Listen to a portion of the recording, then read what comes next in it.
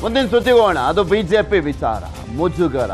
ಮತ್ತು ಕಡೆ ಆತ್ಮಸ್ಥೈರ್ಯ ಅನ್ನುವಂಥದ್ದು ಪ್ರತಿದಿನನೂ ಕೂಡ ಕುಗ್ಗುವಂತ ಕೆಲಸ ಹೈಕಮಾಂಡ್ ಮಾಡ್ತಾ ಇದೆ ಬಿಕಾಸ್ ಅಧಿವೇಶನ ಆರಂಭ ಆಗಿ ಹತ್ತತ್ರ ಇವತ್ತಿಗೆ ಎಂಟನೇ ದಿನ. ಎಂಟನೇ ದಿನ ಆದರೂ ಕೂಡ ಇನ್ನೂ ಒಬ್ಬ ವಿಪಕ್ಷ ನಾಯಕರನ್ನ ಆಯ್ಕೆ ಮಾಡ್ಲಿಕ್ಕಾಗಿಲ್ಲ ಹೈಕಮಾಂಡ್ಗೆ. ಎರಡನೇ ವಾರದ ಅಧಿವೇಶನಕ್ಕೂ ಕೂಡ ಇಲ್ಲ. ಬಿಜೆಪಿಯ ವಿಪಕ್ಷ ನಾಯಕ. ವೀಕ್ಷಕರು ವರದಿ ಕೊಟ್ಟರು ಕೂಡ ಹೈಕಮಾಂಡ್ ಸೈಲೆಂಟ್ ಆಗಿದೆ. ಬಂದ್ರು ವೀಕ್ಷಕರು ಹೋದ್ರು. ಒಂದು ವರದಿ ತಗೊಂಡ್ರು ಅಲ್ಲಿ ಹೋಗಿ ಸಲ್ಲಿಸೋದು. ಆ ವರದಿ ಎಲ್ಲಿ ಕಸದ ಬುಟ್ಟಿಗೆ ಹೋಯ್ತಾ ಏನೋ ಗೊತ್ತಿಲ್ಲ. ಇನ್ನೂ ಕೂಡ ನಿರ್ಧಾರ ಮಾಡ್ಲಿಕ್ಕಾಗಿಲ್ಲ ಹೈಕಮಾಂಡ್ಗೆ. ರಾಜ್ಯ ಬಿಜೆಪಿ ಬಗ್ಗೆ ಹೈಕಮಾಂಡ್ ಅಂತೂ ನಿರಂತರವಾಗಿ ನಿರ್ಲಕ್ಷ್ಯವನ್ನ ಮುಂದುವರಿಸ್ತಾ ಇದೆ. ಇದರಲ್ಲಿ ಸ್ಪಷ್ಟವಾಗಿ ಕಾಣಿಸ್ತಾ ಇದೆ. ಬೇರೆ ರಾಜ್ಯಗಳಲ್ಲಿ ಆಯ್ಕೆ ಮಾಡಿದ್ದಾರೆ.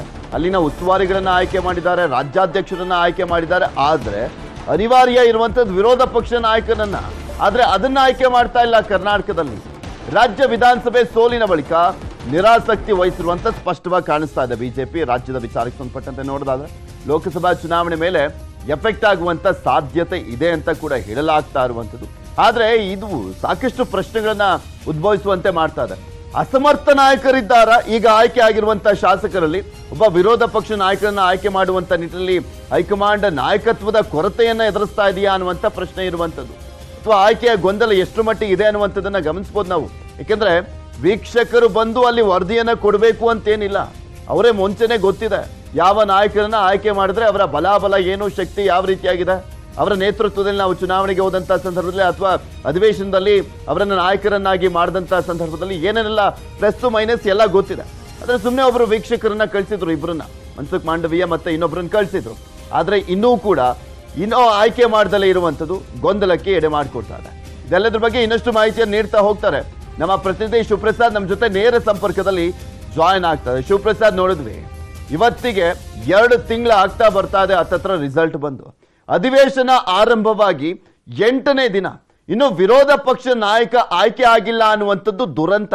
ಅದರ ಜೊತೆಗೆ ಇವರಲ್ಲಿ ಯಾರು ಸರಿಯಾದಂತ ನಾಯಕರೇ ಸಿಗ್ತಾ ಇಲ್ಲ ಅನ್ನುವಂಥ ಒಂದು ಮೆಸೇಜ್ ಅನ್ನ ಕೂಡ ಪಾಸ್ ಮಾಡ್ದಂತ ಆಗ್ತಾ ಇದೆ. ವಿಪಕ್ಷ ನಾಯಕ ನಿಲ್ಲದಿರುವಂತ ಕೊರತೆ ವಿಧಾನಸಭೆಯಲ್ಲಿ ಬಿಜೆಪಿ ಯಾವ ರೀತಿಯಾಗಿ ಮುಜುಗರವನ್ನ ತರ್ತಾ ಇದೆ ಅಂತ.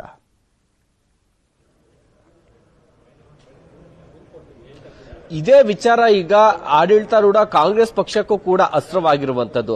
ಯಾವುದೇ ವಿಚಾರವನ್ನ ಬಿಜೆಪಿ ಕೌಂಟರ್ ಮಾಡಲಿ, ಅದಕ್ಕೆ ಕಾಂಗ್ರೆಸ್ ಕೊಡುವಂತ ಉತ್ತರ ಒಂದೇ. ಈಗ ಗ್ಯಾರಂಟಿಗಳ ವಿಚಾರದಲ್ಲಿ ವಿಳಂಬ ಆಗ್ತಾ ಇದೆ. ಸರಿಯಾಗಿ ಅನುಷ್ಠಾನ ಆಗ್ತಾ ಇಲ್ಲ ಅನ್ನುವಂತ ವಿಚಾರಕ್ಕೆ ಕೌಂಟರ್ ಮಾಡಿದ್ರು ಕೂಡ ನಿಮ್ಮ, ನಿಮಗೆ ಇಷ್ಟು ಎರಡು ತಿಂಗಳಾಗ್ತಾ ಬರ್ತಾ ಇದೆ ರಿಸಲ್ಟ್ ಬಂದು.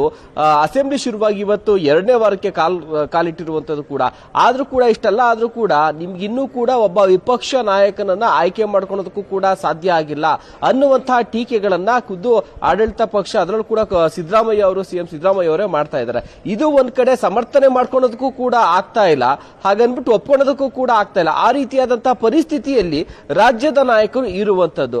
ಈ ಒಂದು ಹೈಕಮಾಂಡ್ ನಾಯಕರ ಈ ಒಂದು ನಡೆಯಿಂದಾಗಿ, ಈ ರೀತಿಯಾದಂತಹ ಒಂದು ನಿರ್ಲಕ್ಷ್ಯ ಧೋರಣೆಯಿಂದಾಗಿ ರಾಜ್ಯದ ನಾಯಕರು ಕೂಡ ಆಗಾಗ ಮುಜುಗರಕ್ಕೊಳಗಾಗಿದ್ದಾರೆ.